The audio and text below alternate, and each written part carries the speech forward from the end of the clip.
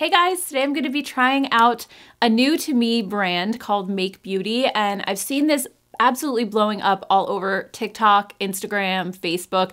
They're everywhere and I haven't seen them too too much on YouTube yet, but I have a feeling that it's coming. So I wanted to get the jump on that, see what these products are all about. And as you know, a lot of times when you see these things on social media, they could be ads or sponsored. And as a completely unsponsored channel, I wanted to give these a real fair shot and just an honest review so that you guys know whether they're worth buying or not, because I have a feeling you're probably seeing them over on social media as well. So I headed over to their website just to see what they're all about. And and I love the aesthetic. I think everything looks like really simple and sleek and elegant as far as the packaging goes. I loved the description and the ingredients of a lot of the products, and I didn't buy a lot because I just don't know if I'm gonna like this or not. So once we find out, then I may go back and order more if it's fantastic. So the first product that I had seen everybody talking about over on TikTok is the Diffusion Dew Skin Tint. So this is the one that I kind of was like, eh, I don't know if I really really need that. I have a bunch of skin tints. And then um, the other product that I saw then people talking about were the single eyeshadows. And people were like swatching them all the way down their arm like this. And they just looked absolutely incredible. And that's, I think, the product that really made me decide, you know what, I'm gonna check these out. So um, let's go ahead and start out with Diffusion Dew first. So I love the packaging. I think this is so cool. I love the really tall, slim bottle. And this is made in South Korea, and it claims to be a next generation skin tint that features skin mimicking pigments that add radiant coverage while blurring, smoothing, and brightening. It's also supposed to be sheer yet buildable, lightweight, and also also contains niacinamide and adenosine to enhance your skin for a glowing, healthy looking complexion. So I ended up getting mine in the shade 1.5. It looks a little bit peachy, but I find that so many foundations are leaning really peachy these days. So I'm just gonna pump some on the back of my hand. So I'm just gonna start working this into my skin with the BK Beauty 101 brush. Oh, it feels really nice. It's a serum-like texture and it has a little bit of a cooling sensation as it's going on. It feels like like I'm putting water on my skin basically. So it's feeling really hydrating and it's funny because on my skin, this is just sinking right in. My skin just drinking it right up. And when I saw people on TikTok putting this on, it made their skin look like really dewy and shiny and I don't feel like it's doing that for me. It's really just going right in. So that's interesting. I was kind of expecting this to be a little bit more of like that dewy type of look. I mean, it is definitely adding a little bit of a glow, but it's nothing as extreme as what I saw in the other videos to be honest, I prefer that. I don't always love like a really dewy type of a skin tint. And so far, I really like how this is settling in.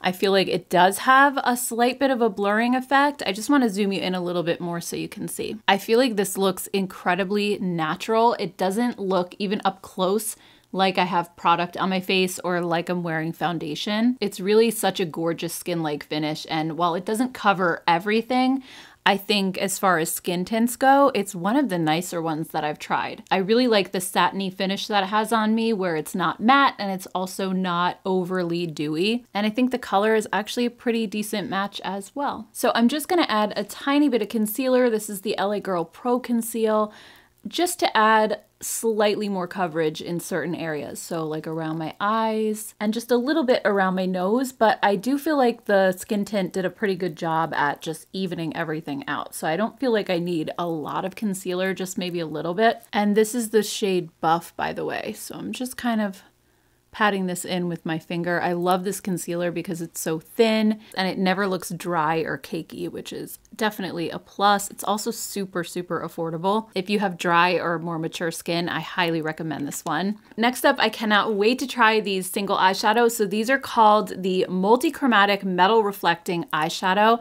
The packaging is also gorgeous on these and I got two shades, Gleam and Quartz. These are made in Italy and they claim to have special treated micas, reflective pearls, and conditioning lipids that give a highly pigmented multi-chrome finish. And these truly are spectacular. They swatch out like butter. They're just so soft and silky, and they seem like they're gonna be super blendable as well.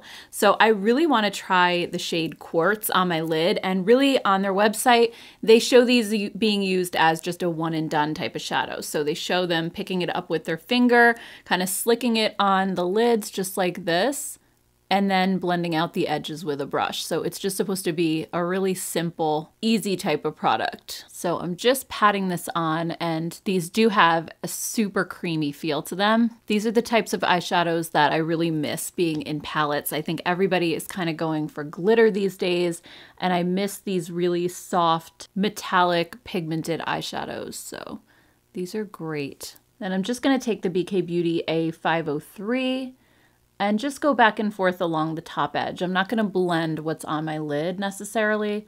I'm just staying along the top just to blend this out slightly and get rid of any harsh edges. I feel like this is so easy. It's just kind of one step and you're done. You have an eye look. So, all right, let me just do the other eye really quick. You really can just kind of pack it on with your finger, just add a lot, and then go back and blend.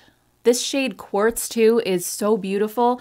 It's like a metallic deep gray, but it has almost a little hint of purple behind it. So it's really cool toned. I could totally see using these on just an everyday basis. I usually save the complicated eye looks for my YouTube videos. And, you know, if I'm just trying to get out the door in the morning, I usually just use a one and done shadow like this and just kind of blend it. So these are perfect for that. All right, for mascara, I'm just gonna use the Tarte Tartelette Tubing Mascara. This is the XL version, the new one that they just came out with. And Make Beauty also does have mascara, but like I said, I didn't wanna order too many things because I wasn't sure if I was gonna love it or not. But after trying the skin tint and the eyeshadows, now I'm kind of wishing I had ordered some more things. So I may end up going back because the quality really seems outstanding so far. If you're looking for a good tubing mascara, I love this new one from Tarte. It's really similar to the last tubing mascara that they had, except this one actually removes like a tubing formula and the old one didn't. So I do prefer this new one quite a bit. And actually, I think I just want to go back into this and put a little bit on my lower lash line. I just kind of want to smudge it underneath so this is the Sigma E57 brush. And I'm just gonna run this right along my lower lashes. I feel like these blend so beautifully too, that it just gives that nice kind of smudged out, smoked out effect. It's so beautiful. And I also love that when you blend these out, they lose a lot of that metallic quality. So the area that I applied with my finger still looks really shiny, but then up here, it softens that shimmery effect because when you blend it out, like up here by the brow bone, it just looks a lot less intense. So it really does look like you used multiple shadows even when you didn't. So I'm really impressed with these. I'm almost ready to go back and just grab a few more shades. So next up for cheeks, I have their blush stick and they do have a powder blush as well. And I was tempted by that one. Again, that's something that I might go back and look into. But um, the blush stick is called the Heatstroke Dewy Gel Tint. This is also made in Italy and it says that it's an innovative gel tint that's formulated with skin enhancing pigments to create a dewy watercolor blush effect. I love that. It also has skin plumping brown algae that's supposed to enhance volume and give radiance. And I have this in the shade Slush, which I thought looked like a beautiful kind of cool toned berry shade. So I'm gonna pick this up on the BK Beauty 112 brush. And I'm just gonna pick it up straight from the tube and just start patting it right in. This seems like the type of product that might leave a little bit of a stain behind, so I'm hoping that it's long lasting. And it is pretty sheer, like compared to something like those new Milk Makeup jelly sticks. Those are really intense right off the bat. This one is definitely a little bit more buildable. But again, I prefer that just for ease of use. You can always build up the color, but it's really hard to take it away. So honestly, this is just going on to my skin so seamlessly. Just like the skin tint, this looks incredibly natural. It looks like it's just your cheeks blushing from within rather than that you're wearing makeup. I absolutely love it from the color to how natural it looks on my skin. It's super easy to build up and I'm just applying it with like a stamping motion because I don't want to really disrupt the foundation underneath. So I'm just trying to pat it into my skin and this really doesn't take any effort to blend it. So you can just kind of tap it with your brush and it just melts right in. It's amazing. So I'm just gonna go ahead and apply some to the other side. And by the way, all of these products seem to be fragrance free. I'm not smelling anything as I'm applying them. I know some of you guys are sensitive to fragranced products, so that's a good thing for sure. And I think the thing I'm loving so far the most about this brand is that all of these products seem to be really fuss free. Like it's just all things that are super easy to use. I'm a busy mom. I don't always have a lot of time to put makeup on, even though it may seem that way. Usually the days that I apply the most makeup is when I sit down to film, but every other day I just want something as quick and easy as I can make it. And I love that these products really are helping to give a polished look with almost no effort. So next up for lips, I have this balm. This is called the Serum Balm Intense. This is made in the United States and it says that it's a serum lip product that provides instant hydration while softening, smoothing, and plumping. It has a natural lip volumizing ingredient that's derived from biomolecules extracted from pomegranate flowers along with liquefied jojoba. So it's supposed to add luxurious, long-lasting shine and cushion and I have it in the shade Magnetic Mauve. Again, it doesn't seem to have any fragrance to it. This is so thin, it really does feel like a serum, almost like a gel serum. And it definitely seems to have a nice amount of pigmentation for a lip balm. To me, it feels a lot like a lip oil with a lot of pigment. And I'm already obsessed with this color. This is the most perfect cool toned mauvey pink. And I love that it's not overly glossy. There's no stickiness to it. It really does just feel like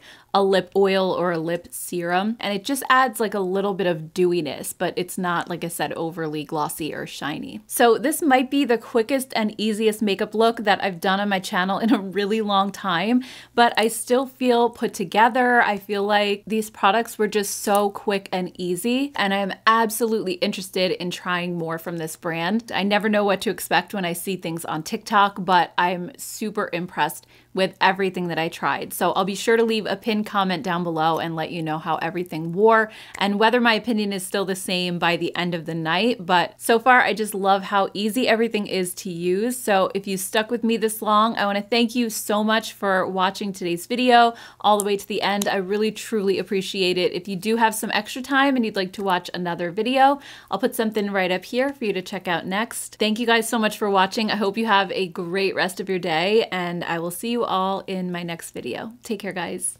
Bye.